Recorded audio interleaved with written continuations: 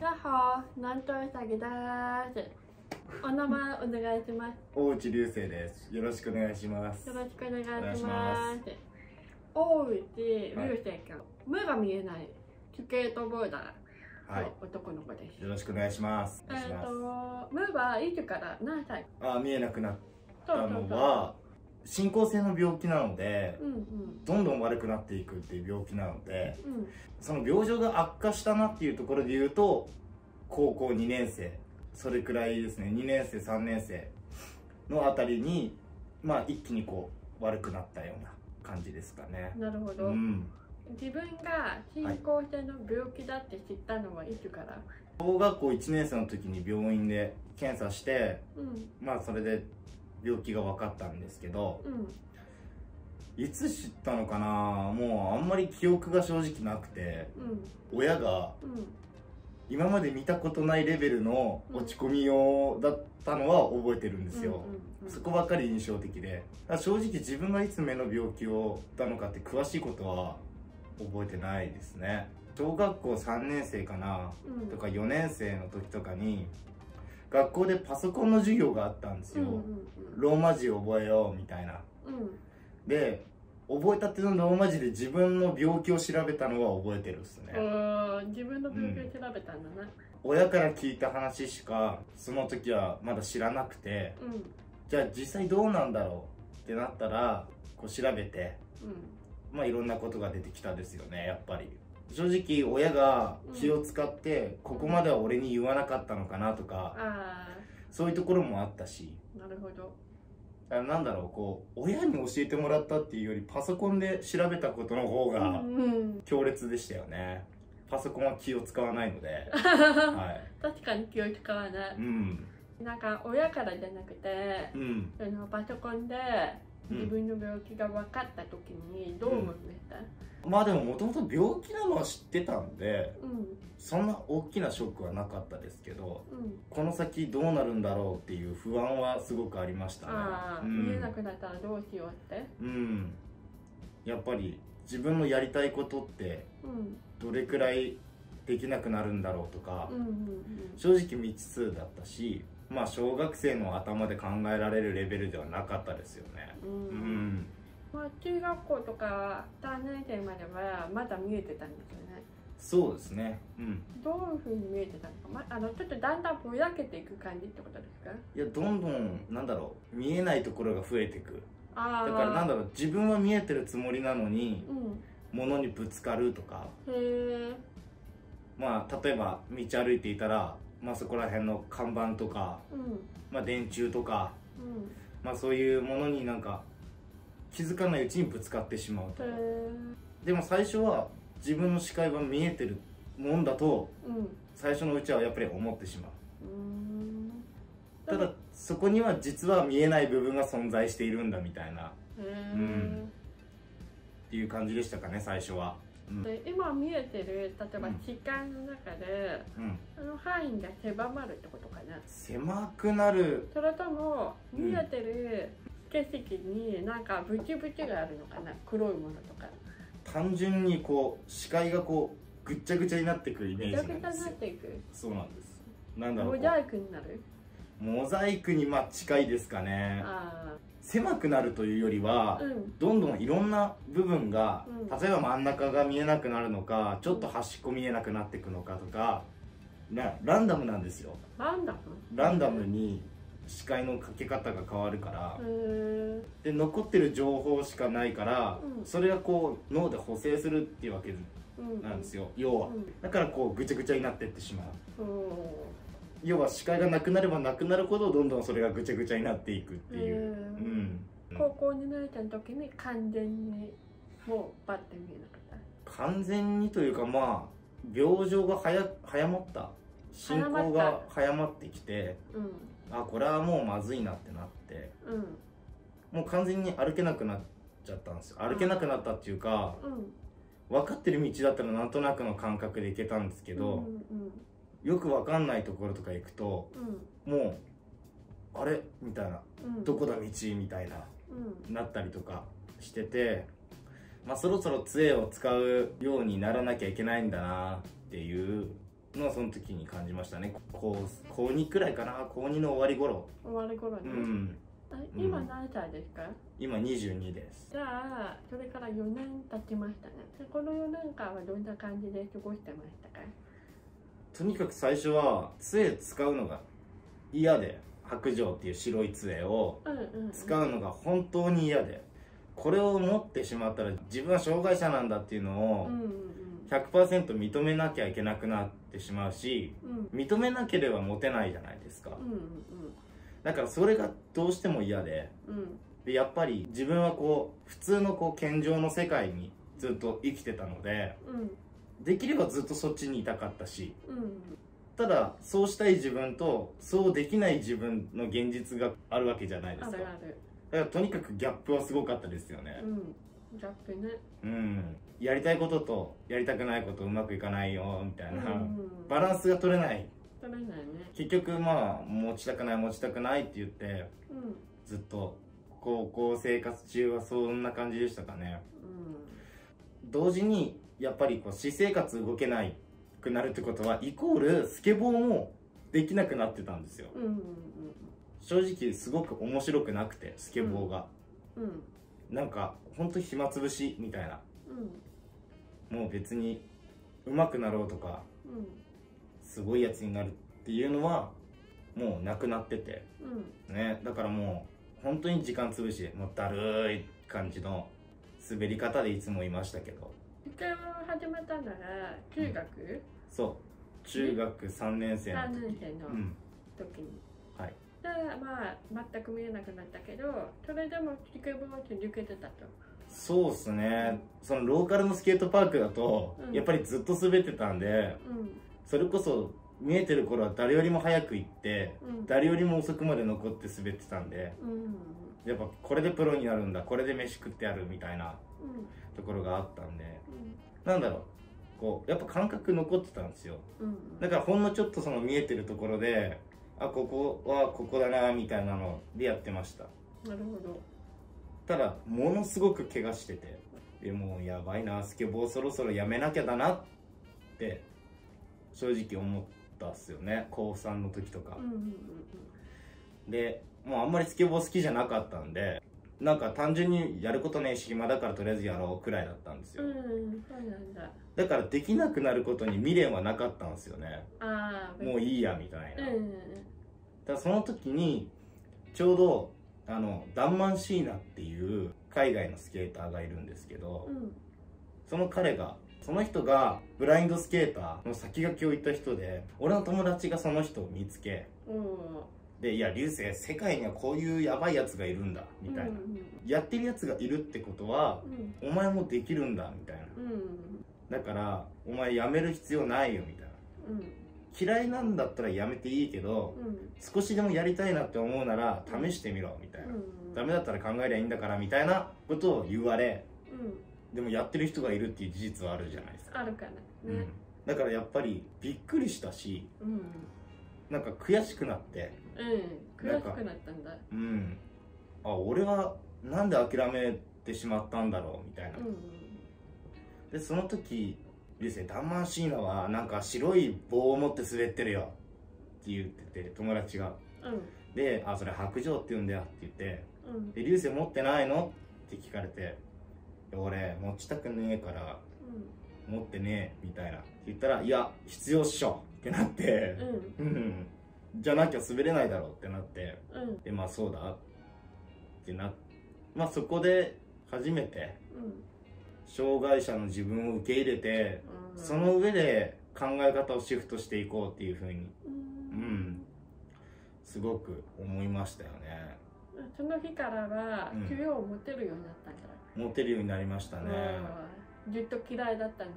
そうなんか本当はスケボーなんてもう好きじゃなかったのに悔しい反面でも嬉しかったところもあったりでなんかよっしゃ持ちますかみたいな。もうそこからはだいぶ生活楽になりましたよね。正直みんな分かってくれるししかもつ自分がぶつかる前に杖が物にぶつかるんで避けられるし。スケボーはねうん。正直だいぶ大変でしたけど最初。うん。まあそれはただって目が見えないのにさ。うんスケートボードをコントロールするにはちょっとイメージがつかないというか怖い。怖いですね。だって目起きてても怖いもん、うん。正直すごい怖かったですね。うん。今も怖い？まあやっぱり怖い時はありますね。ただもう怖いからやらないっていう選択肢を取ったら前の自分と何も変わんないんですよ。あなんか逃避することってすごく簡単なんだけどーうん。その目の前の課題に対してうどうクリアしていくかって作戦を考えることが大事で。んうん。俺は常にそれを考えてますね。なるほど。だからどうやればこの狙ったトリックがうん。ちゃんと決まるのかっていうのをちゃんと考えてうん。でやる。俺だけなのかどうか分かんないんだけど、うんうんうん。スケボーが怖い理由ってなんでなんだろうっていうのをまじまじと一回考えて痛いから怖いんだっていう結論にたどり着いたんですよ。怪我すると痛いからそうなりたくなくて怖いんだろうって。うん。いうすごい当たり前の答えなんですけどうじゃあ一回痛くなろうみたいな。うんとりあえず一回挑戦みたいな。うん。やばそうだったらその時考えりゃいいしうん。一回こうこけるとああ意外とでもこんなもんかトライできるわってなったりがあるんでやらずやらず嫌いというかうん。は本当に良くないなってうん。思いますね今は。なるほど今そのスケボーをやってていつまでに続けたい？ずっとっすね。ずっと？うん。おじいちゃんだと思う。おじいちゃんになっても多分やめないですね。すごい。新しいことに挑戦したいものもある。新しいことに挑戦。やったことないこあと目が見えないからこそやってみたいこーまあ俺ラップもやってるんですけとど、うんうん、ラップもやってる。うん、スケボーとうん。ラップさえそこに自分の生活の中にあればうん。それだけでなんか幸せだしそれをもっとすごくしたい。もっとなんかマインド的にどこまで高まることができるかみたいな、えとかそのスケボーで俺はどこまでいけるのかとかじゃあラッパーとしてどこまでいけるのかとかもうすごい楽しみですねちなみに YouTube はやってる？ラップの曲出してますね。メインはインスタグラムで、まあ、自分のスケボーのプライベートな映像とかは全部インスタグラムに上がってるんで。まあなので皆さんチェックしてもらえれば。インスタがさ、載せてる動画は自分で載せてるの？そうですね。自分で出して投ま稿してるの？すはい。えその投稿ボタンとか見えるの？携帯が喋るんでそれで教えてもらえるんでどこにボタンあるかとかが。ああここにボタンがありますよって。うん実際それやってるところを見てみたい。いいですか？じゃあ今。14時42分。えっとそしたら。14時42分。ちょっとゆっくりにしますね。そう。あ今これメインの携帯開いたところの画面なんだけど、14時この時間とか14時42分。指で触ると。14時42分。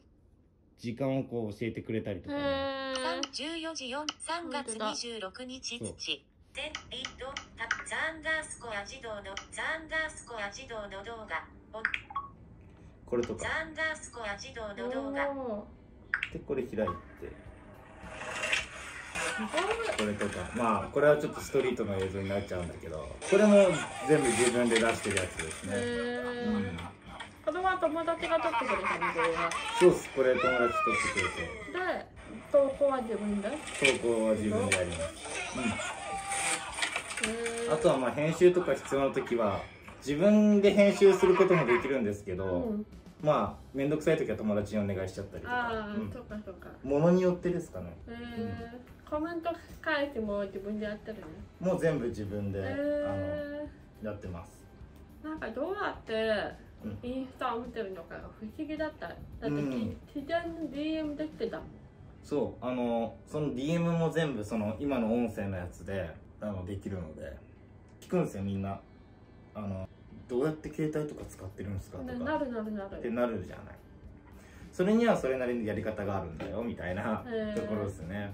うん。ちなみにイヤホンとかつけたりする？あつけますつけます。じゃあ電車とかはイヤホンで、そうっす。俺はもう電車の中とかで携帯使う時は特殊でイヤホンだけはめてポケットに手突っ込んでポケットの中でなんか携帯動かせるみたいな。そうなんだ、うんだからでも分かんない。外からしたらずっとポケットに手突っ込んでもぞもぞしてる人になっちゃうんだけど。流星君は恋愛はどんな感じな恋愛ですか？のはい。内緒っすね。ただ今実は今世紀最大のなんか恋愛をしてて。うんこれが成就するかわからないんですけど。うん。とりあえず今世紀最大なんで。私の場合は耳聞こえないからなんか恋愛できないって思ってたからうん。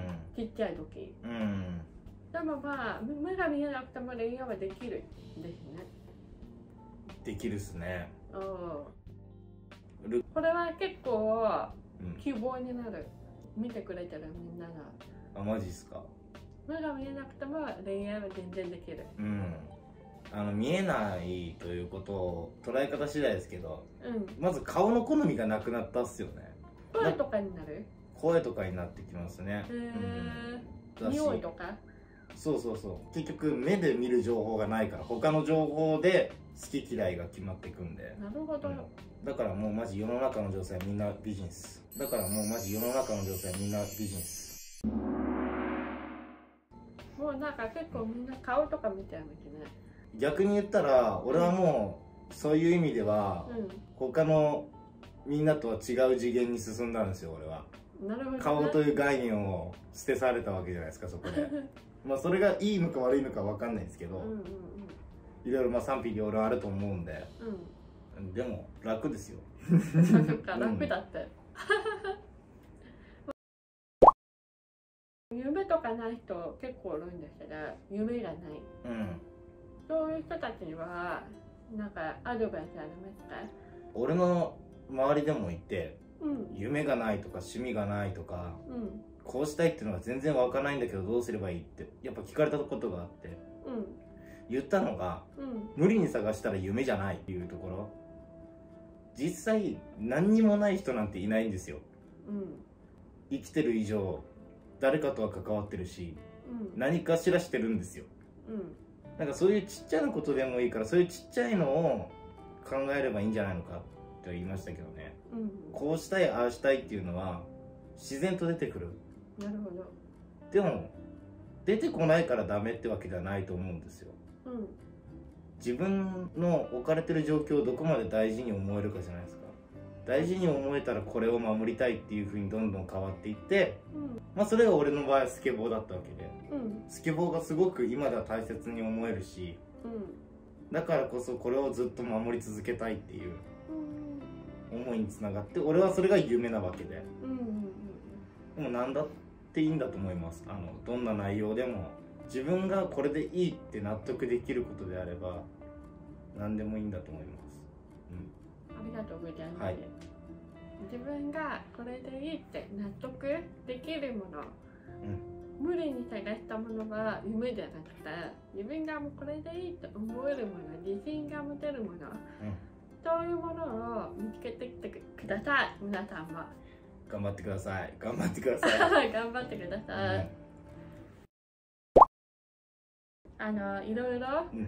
教えてくださってありがとうございいえいえありがとうごましたざいました。楽しかったです。彼のインスタグラムも。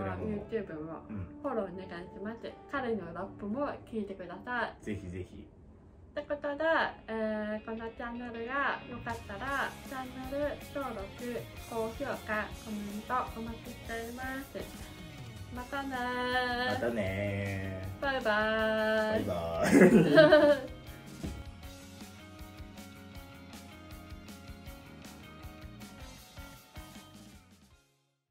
これはちょっと使うかどうかわかんない。けど、聞きたいことがある。流星君は健常者です今。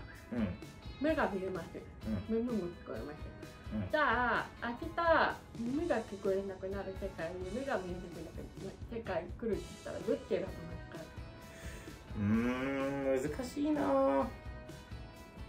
難しいけどでもやっぱり俺は目を選ぶかな。目が見えない方選ぶ？うん。なんかわかんない。わかんない。ちょっと待ってね。ちょっと待って。一回せ一回整理しよう。見えないかうん。聞こえないかの選択肢ね。そう。はやっぱ見えないっすね。見えない選ぶ。見えないを選ぶ。私は聞こえないを選ぶ。多分自分の生活に慣れてるからその選択肢になっちゃうんだよね。うん。うん。ちなみに聞こえなくなるってのは怖い。怖いっすね。怖いんだ。うんまあ俺にとっては今音が生命線なのでより怖いって今の自分だと思いますね。私の場合は口の動きとか見るからうん。目が命で、うん。見えなくなることの方がすごい怖い。うん。だから今マスクとか大変っすよね。もう全くわかんない。ね。大変だろうなと思って口の動き見えないとねみんな喋ってないのと同じことになっちゃう。でも見えないにしろ聞こえないにしろねう今置かれてる状況をありがたく思うしかないんじゃないですかね。もっとひどい人もっと大変な人いっぱいいるだろうし。んいるといると思う。だからこそまあ自分のこ現状にありがたみを持たなきゃね。うん。何にも始まらんっていう。ね。今今の自分に感謝をしてねほんと感謝っすね。ね。あとは両親とか仲間にもね。すごい感謝。うん、だ周りの人を大切にしてうん、だから少しでもね自分の活動を通してなんか恩返しできたらいいなみたいな。のは常に考えてますね。うん。私もそう考えます。ありがとうございます。ありがとうございます。OK です